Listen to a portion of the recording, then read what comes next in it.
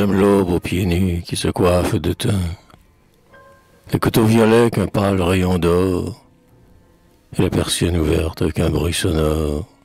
Pour boire le vent frais qui monte du jardin. La grande rue au village un dimanche matin. La vache au bord de l'eau toute rose d'aurore. Les filles au clair dent. Ma feuille humide encore. Et le divin cristal d'un bel œil enfantin. Je préfère une âme à l'ombre agenouillée, les grands à l'automne et leur odeur mouillée, la route où teinte, au soir, un grelot de chevaux, la lune dans la chambre à travers les rideaux, une main pâle douce et lente qui se pose, deux grands yeux pleins d'un feu triste.